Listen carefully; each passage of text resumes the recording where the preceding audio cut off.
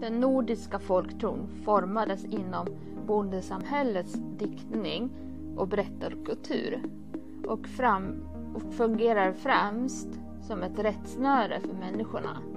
Det är inte som i kristendomen utan en religion som bygger på en äldre hedisk föreställningar vilka har blivit uppblandade med, med det kristna eller andra religiösa värderingar.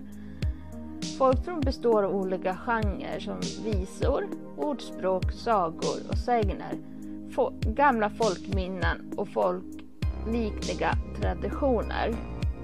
Även folkmedicin med dessa sedjevänjor och kloka gubbar och gummor hör till folktron. Tillsammans bildar dessa ett brett och varierat spektrum. En del aspekter består av djupt rotade spridda traditioner men somliga inslag räknades som skropp, skrönor och vidskepelser och vandringssägner.